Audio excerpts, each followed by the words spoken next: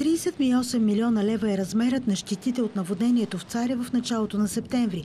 Сочат предварителни оценки на Междуведомствената комисия, която изготви доклад за причините за водното бедствие. Докладът вече е прият от правителството.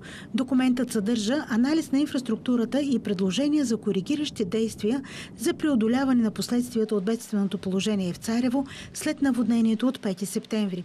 Според министърът на околната среда и водите Юлиан Попов, съдържанието на доклада ще даде по-конкретни посоки за развитие на плановете за управление на рисковете от наводнения и други бедствия. Категоричната му преценка е, че част от българската инфраструктура не е адекватна на климата в страната, а още по-малко на климатичните промени, които очакваме да се засилят. С решението Министерския съвет на комисията се възлага да определи конкретни срокове за изпълнението на предложените в доклада коригиращи мерки.